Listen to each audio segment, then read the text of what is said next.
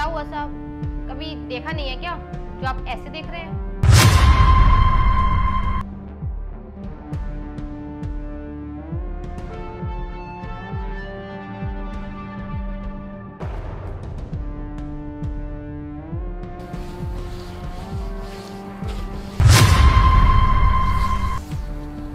अरे मालिक, क्या हुआ?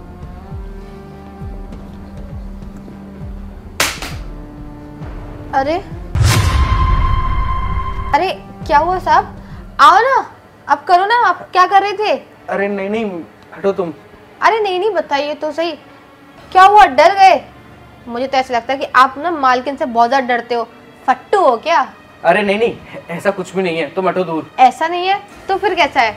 तो फिर अगर डर नहीं लगता फट्टू नहीं हो तो फिर आओ ना करो ना आओ आओ। अरे नहीं नहीं मैं ऐसा नहीं हूँ तो अरे अरे दूर हटो। मैं तो शादीशुदा हूँ। अरे आप शादीशुदा हैं तो मैं भी तो शादीशुदा हूँ। कि मुझे कोई फ़र्क नहीं पड़ता?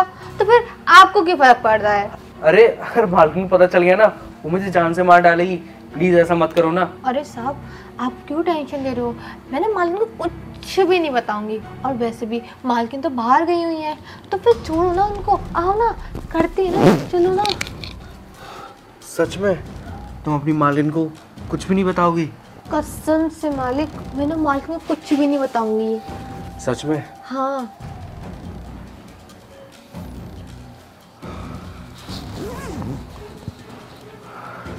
हाँ तो साहब अच्छा लगा ना? मज़ा आ गया। तो फिर लाओ मेरे पैसे। पैसे? कैसे पैसे? पैसे? जो अभी आपने मज़े लिए उसके पैसे? पैसे? पर जो हम दोनों के बीच हुआ है वो तो हम दोनों की रजामंदी से हुआ है ना तो तुम किस बात के पैसे मांग रही हो? ये तो गलत है। क्या? मेरी मर्ज़ी से? ऐसा है या ना मेरी मर्ज़ी से कुछ भी नहीं हुआ। और वैसे भी यहाँ ना तुम ही मुझमें इंटरेस्ट दिखा रहे थे है ना? और वैसे भी मुझे ना इस सबसे कुछ मतलब नहीं है।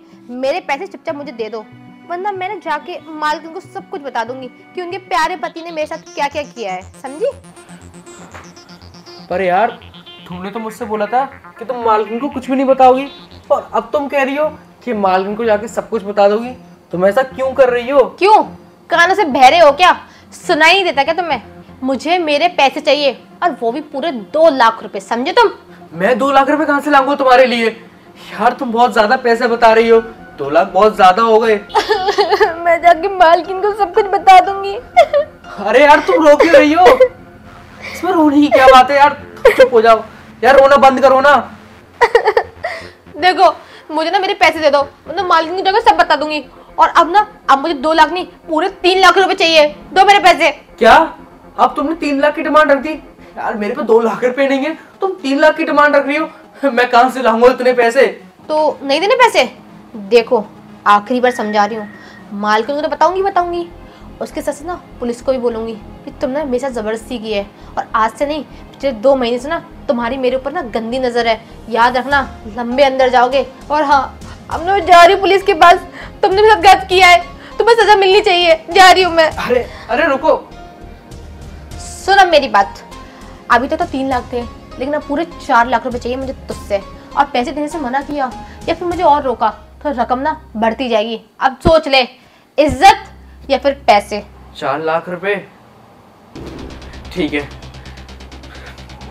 मैं लाता हूँ। लाता हूँ मैं चार लाख रुपए। और हाँ जल्दी।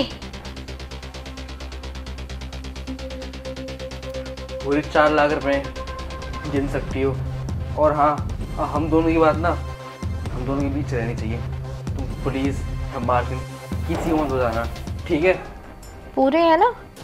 और वैसे भी। अगर आगे कभी मन हो ना तो मुझे बुला लेना। नहीं नहीं तुम जा सकती हो। जाओ। अरे अरे साहब आपकी सेवा के तो मैं हमेशा तैयार हूँ। आप जब बुलाए मैं तब आ जाऊँगी। वैसे एक बात कहूँ सच में फट्टू हो।